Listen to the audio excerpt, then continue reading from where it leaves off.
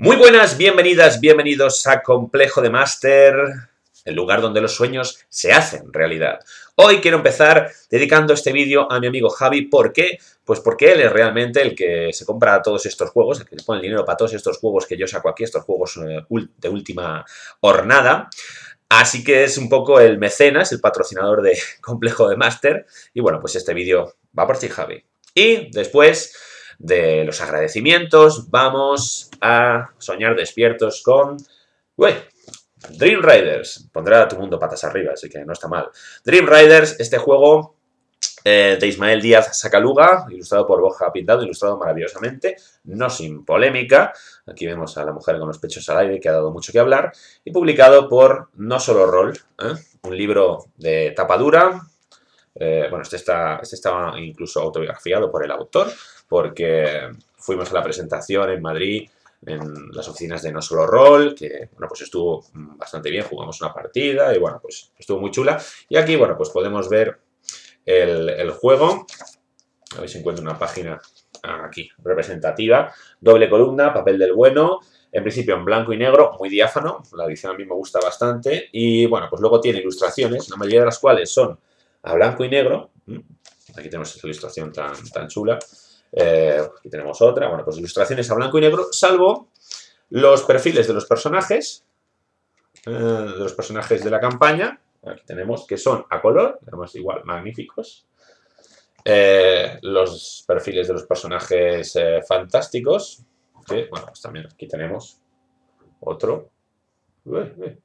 También a color. Y luego las ilustraciones del principio de cada capítulo. Mira, qué bonita esta, me encanta. ¿Os recuerda algo? que también son a color, ¿no? Eh, bueno, yo creo que lo cual pues eh, está bastante bien. No es solo, no es todo blanco y negro, no es todo a color, lo cual pues hace una, mezcla, una relación calidad-precio que yo creo que está bastante bien. ¿De qué va Dream Riders? Pues Dream Riders eh, es un, nos habla de un mundo similar al nuestro, en la misma época, digamos, donde ocurre una singularidad, y es que sucede lo que luego se llamará la Gran Vigilia. Mm, un día, un buen día, la gente no puede dormir. De repente, eh, en el hemisferio donde es de noche, la gente es arrebatada de, de, sus sueños, se levanta con sudores fríos y no puede dormir y nadie puede conciliar el sueño. En el hemisferio donde es de día, pues tampoco puede dormir nadie y además les llegan las noticias de todo lo que está pasando, eh, pues que eso que la gente, por mucho que lo intente, por muy cansada que esté, nadie puede dormir en todo el mundo. Se sucede el caos, los suicidios, los disturbios, porque esta situación se prolonga durante tres días. Tres días en los que nadie puede dormir por ningún modo y donde nadie sabe nada, no saben por qué ha ocurrido, no tienen ni la más menor idea nadie en el mundo. Al final, como digo, después de los tres días, la cosa cesa tan repentinamente como, como empezó. Y bueno, pues eso. Mm, de hecho, la gente, pues normalmente esté donde esté, pues cae rendida, durmiendo y recupera, por así decirlo, el sueño, el sueño perdido.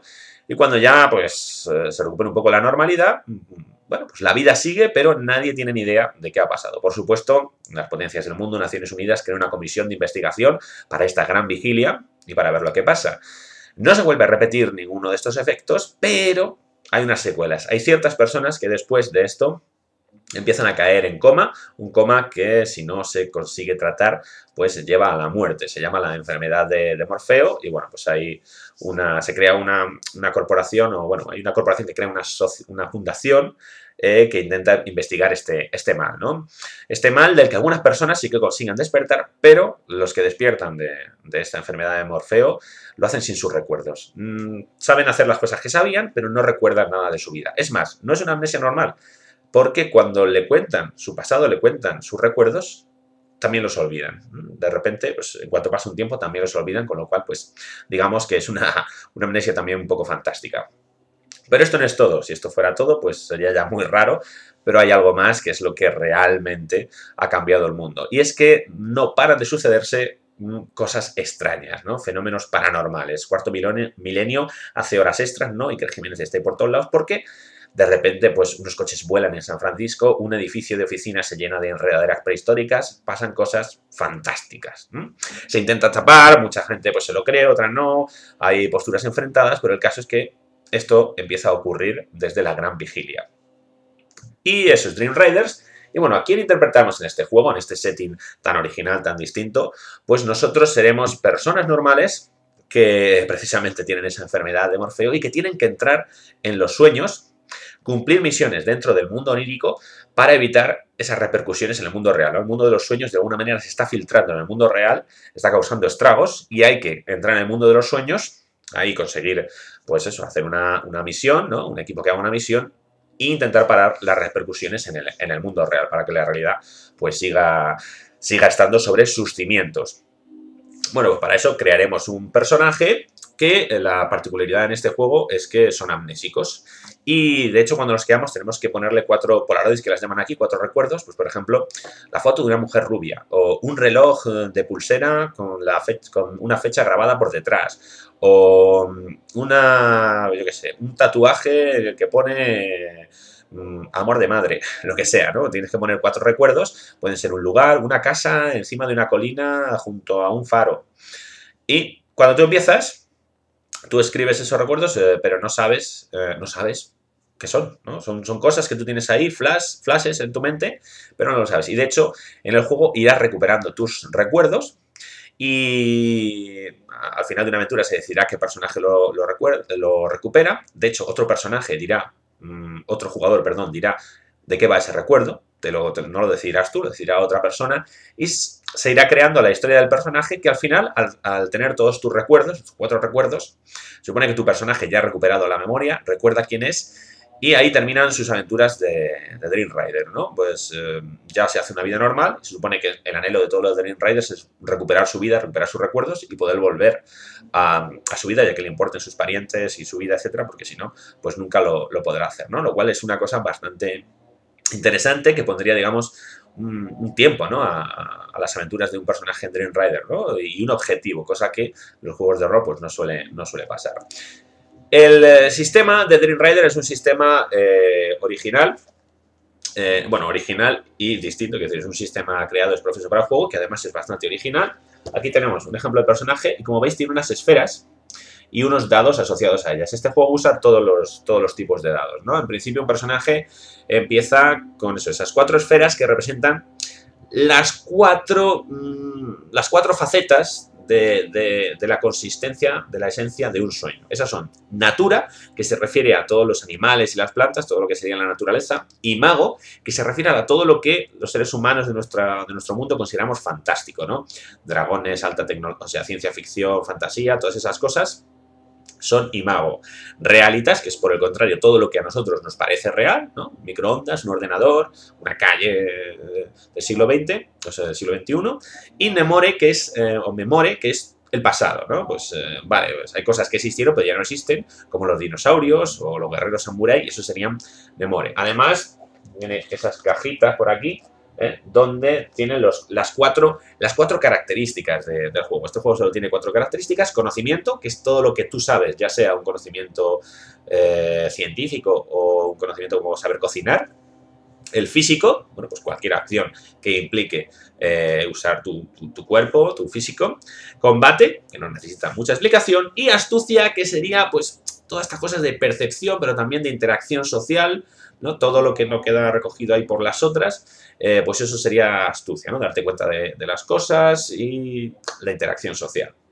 Además, pues eh, eh, los personajes tienen unas especialidades, que esto ya sí es como a lo mejor un rollo más aspecto de Fate o rasgos del fin del mundo, donde te puedes inventar lo que quieras. Tú le pones, no hay una lista cerrada, sino que tú le pones el nombre a las especialidades y te dan pues un más uno, un más dos, creo que el máximo es más dos, me parece, o no sé, más tres, bueno, pues un bonus no muy grande a algo. Pues, pues eso, si tienes pistolas, mm, o sea, si tienes pistola de 9 milímetros, tu especialidad, pues te podrías sumar el valor que tengas ahí a tu, a tu, a tu combate cuando estás usando una pistola de, 9 milímetros, ¿no? Bastante, bastante sencillo. La creación de personajes en este juego muy sencilla. Tienes que empezar decidiendo qué edad tienes, porque eso influye en cómo vas a ser, igual que pasa pues, en Juego de Tronos de, Green Ronnie, bueno, Canción de Hielo y Fuego, o en tenga, eliges una edad y eso te dice qué puntos puedes repartir. Porque luego hay otra, hay otra, hay otro valor, ahí lo tenemos en, la esquina, ¿eh? que son estas, ¿eh?